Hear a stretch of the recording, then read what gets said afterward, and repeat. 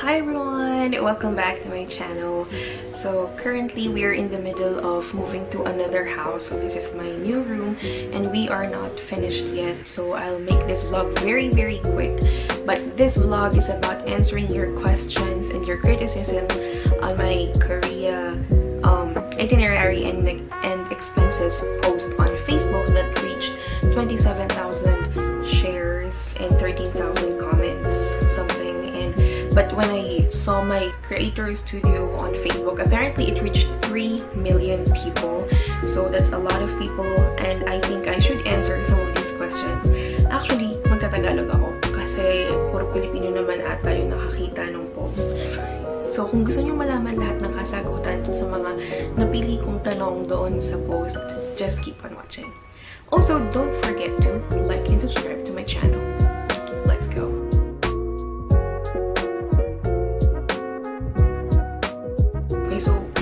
Nag-prepare na ako ng questions and answers dito sa phone ko. Kaso nasira siya, hindi siya nakapag-update ng maayos and ayaw niyang bumukas for 3 days na. So I'm just going to look at your questions sa laptop. Um, number one question, and madaming nagtat madami ring nagtatanong. So first, hi, no need for visa. So kailangan po natin ng visa para makapunta sa Korea. And um, sumagot ako ng yes, we need to get the visa to enter South Korea. And meron ding sumagot na akala ko may non-visa na sa South Korea. So, um, I answered na yung non, yung nag-trending noon na no visa or visa-free for South Korea is for Jeju Island lang and group tours through an agency. So, hindi siya pwede nung ang konting ang tao lang or DIY, you have to um, buy a tour package sa isang accredited agency ng South Korea or kung dediretso kang Jeju Island, hindi mo kailangan. Um, sumunod, so actually madami nagtanong about visa. Paano kumuha ng tourist visa? Actually, meron akong vlog na ginawa para dyan. Lalagay ko na lang dito yung picture and yung link sa baba. Um, although mahabang mahaba tong vlog na to, 40 minutes, so medyo nabash ako. Kasi share ko talaga lahat ng experiences ko, lahat ng naramdaman ko because um, I've applied visa three times na. Yung first was denied and then it, itong vlog na to was yung first time na, na, na siya kaya medyo overwhelmed ako. Madami akong sinabi. Pero kung tutuusin lahat-lahat ng detalye nandyan na um, shortcut, ano ba yung mga um, key points to be approved sa iyong visa, kailangan kumpleto ang iyong requirements, and kung first time traveler ka, medyo mas mababa yung chance na ma-approve ka unless kung madaming madami kang pera sa bangko. Pero kung wala kang madaming madaming pera sa bangko at marami ka naman ng um, history or out of the country trips, malaki din yung chance mo na ma-approve. Mainit kasi maingay yung aircon and electric fan, kailangan ko siyang patayin. Um, kailangan po bang pag-aralan ang language nila? Not necessary, hindi mo kailangan kasi madami namang foreigners doon. Pero yung mga Koreano, hindi sila masyadong nag adjust sa mga foreigners na mag english sila para sa'yo dahil ayaw talaga nilang mag-English. Kaya, minsan ko koreanuhin ka nila ng dire-diretso pero somehow magkakaintindihan kayo. Um, meron akong ginawang vlog again na um, basic travel, um, basic um, expressions na pwede mong matutunan kung pupunta ka sa Korea. Just as simple as annyeonghaseyo or kamsamnida or um, kakajuseo for discount. So, check that vlog. And next is may nag-comment. Sinagot ko naman to, nahihiwagaan pa rin ako. Sobrang mura. Anong ginawa ko sa 60k ko pag nasa Korea ako, tipid pa ako niyan. So, I answered her, baka naman kasama na yung shopping mo sa 60,000. And sabi niya, oo, kasama na, pero tipid na tipid pa rin daw siya. Mamaya ako sasagutin yung mga yan. Um, isa pang tanong, kasama po ba yung plane ticket? Kung nagbasa po kayo, nasa unahan po ng post ko, Manila to ICN, Incheon Airport, 800 pesos. And ICN to Manila, 1,620 pesos. So, it means yes, kasama na po yung plane ticket pabalik. And, may nag-comment under dun sa comment ko na sa mga nagko-comment po na hindi ako naniniwala, okay lang. Kasi may dami nga nag-message or nagko-comment na hindi sila naniniwala. So, ang reply ko dito, ay ang reply niya is, naniniwala naman po ako sa budget nyo. Kaya lang, hindi po, kay, hindi po ba kailangan may show money ka? Kaya siguro sabi nila hindi sila naniniwala. And then I replied, hindi po totoo yung show money. Her post is hard to believe, lalo sa pagkuha ng visa. The key is dapat active yung bank account mo and regular yung pasok ng visa. Actually, totoo naman. Yun talaga yung isa sa mga key. Wala man ako sinabing hindi kailangan nun. And yung post ko, hindi abot sa pagkuha ng visa. And then, may nag-reply sa kanya, yun nga din po ang concern ko. Kasi as far as I remember, pag nag-tour ka sa South Korea, you need to show money like 400,000 and up ang pera sa bank account. Yan kasi narinig ko sa amo ko sa condo before. In which, um, Lee Aimee of Me in Korea. She's also a YouTuber and a Facebook um, content creator. Siya yung uh, nag-trending yung post kasi nagpunta siya sa shooting locations ng It's Okay to Not Be Okay. Sinagot niya yung mga comments na yon Sabi niya, 400 is too much po. Nakapag-travel po ako sa Korea ng ilang beses bago ko tuloy, tuluyang tumira dito. Pero basta to make it short, pwede nyo basahin yung comment niya. Um, hindi totoo na kailangan mo ng kalahating milyon, daang libong um, piso sa bangko mo. Hindi po totoo yun. Kasi meron akong mga kilala na 30,000, 20,000, na-approve naman. Hindi kailangang isang bagsakang malaki. Hindi nag-work yung show money para sa Korean visa kasi kailangan makita nila na active yung bank mo, may pumapasok tuloy-tuloy, may lumalabas. Kasi halata pag show money, yung iba nang hihiram lang ng isang bagsakan na 100,000 pack. Yun nga, hindi po yun nag-work. So, kailangan within 3 months, um, active yung banko mo. Can I see your Bangkok trip trip po. Nasa pin post po ng aking um, page, How About Thailand. Paki-check po. Yun po yung una kong pinost before I posted this Korea um, itinerary kasi madaming nag-comment dun sa Bangkok itinerary ko na Korea tayo, Korea tayo. So, I posted the Korea uh, one. Next is, mura talaga mga bilihin dyan lalo album ng BTS, BT21 and Merch compare PH. Yes, totoo. Um, yung album, mga K-pop albums na 700 pesos lang. Pero sa Korea, umaabot, ay sa Pilipinas, 2,000, 3,000. And pati mga merch, half yung price.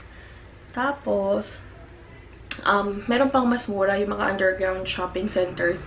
Um, fake siya, hindi siya yung legit na BT21 line store. Pero super malapit. Pero hindi ako bumili doon. Next, Miss magkano usually yung BT21 dolls? I'm into BTS talaga, hehe.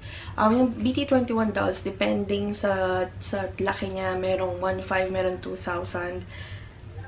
And then, sorry kung narinig niyo yung outside noise. Hindi pa rin ako sanay kasi dun sa condo, hindi dinig yung mga yan. Okay, kailan ka nag-travel? Anong dates? Nilagay ko po ito dun sa dulo ng post ko. So, madaming nagulat and na-disappoint nung nakita nila na 2018 yung travel dates. Kasi nga, syempre, baka nag-iba na yung rates na ngayon nagkaroon ng pandemic. Uh, meron din akong Korea trip ng 2019, spring, and hindi ko pa nagagawa yung itinerary noon, and I don't know kung ipopost ko siya. Pwede ko siyang ipost, pero baka hindi na naman kayo makapaniwala sa sobrang mura ng mga nagastos ko.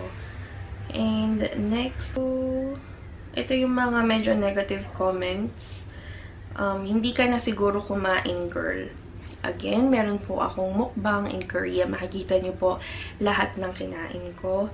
Next ay meron pang how to be you po. Parang fake news naman yan. Naghirap tayo noon dyan na malubi tayo eh nag-KFC na nga tayo last day. The thing is, um, fast foods in Korea are more expensive kesa yung mga legit na mga Korean meals talaga sa Korean restaurant. So, hindi ako nag-fast food. Basta isa siyang OFW. Sabi niya, I mean, maniwala, para sa ang comment niya is maniwala ako sa'yo.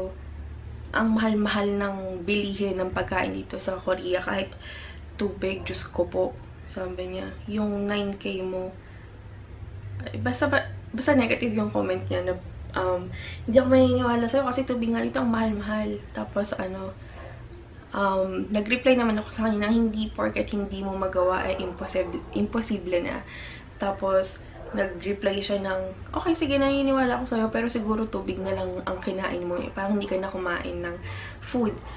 So, hindi ko na siya nireplyan doon. Pero again, hindi po ako nagutom. Hindi ako nagpagutom sa Korea. And may isa pang OFW yung nag-comment. Sabi niya, yung mas marami na siyang napuntahan kesa sa amin na nandito lang sa Korea. How to be you po. This is the reality. Kasi yung mga OFW, hindi naman lahat, pero kanamihan ng OFW sa Korea, nag-stay lang doon sa kung saang province sila. Usually, yung mga factories ay wala sa Seoul or nasa mga provinces. And they don't get to travel as much. So, yung napuntahan ko kasi nung first trip ko, iba't ibang city outside Seoul. Nakapag Sokcho ako, nakapag Yongin ako, nakapag um, Gapyong ako. So, those are far away cities sa Seoul. So, let's imagine na parang Bulacan, Pampanga, Laguna. So, parang if you're a foreigner, you don't usually go to um, a lot of places like that. So, Um, kaya siguro medyo negative reaction yung ibang mga OFWs dahil um, sanay sila dun sa expenses sa Korea na ito talaga yung standard na presyo sa Korea. Hindi na nila naaral na pwede pa palang tipirin or pwede pang um, babaan. Okay, so meron ding isang nag-share, nakita ko super negative nung comment nung um, caption niya na parang, okay ka lang ba girl? Parang, um, anong 9K? Ano kasi nungalingan yan? Eh, naka 100K nga kami, ganyan-ganyan. So, um, paano ba ako nakatipid? Una sa lahat, hindi ako dumaan ng um, agency. Sarili kong gawa ang itinerary ko. Nag-commute ako. Never ako nag-taxi. Nag-subway ako. Nagkaligaw-ligaw ako sa bus. Um, kasi baka kumain kayo sa mga malls o yung mga nadaanan yung malalaking restaurants along the way. Hindi ako kumakain doon. If you know Korea, alam nyo na yung mga masasarap na pagkain or na restaurant ay nasa mga maliliit na mga iskinita. Yun talaga yung mga dinadayo ng mga locals. Um, ano kasi, research is the key. Hindi yun, hindi ako pumunta doon para magpaka-turista. Pumunta ako doon to experience what is it like to be a local. So, um, hindi ako masyadong nag-splurge into um, touristy things. Pero, madami ako napuntahan. Um, if you still have a lot of questions after this, also I'll be, um, I, I did so many vlogs regarding my trip to Korea. Merong how to travel cheaply in Korea or abroad or South Korea, travel tips. So I'll link those below and please watch them. If you still have any questions just um, leave your comment below. And again thank you very much kasi madami naman ako na-receive na messages saying thank you kasi na-inspire ko silang mag-travel. Um, sa mga bata pa na nagtatanong kung paano sila magbibiyahe, wait lang kayo until mag-legal age kayo and may enough na kayong finances.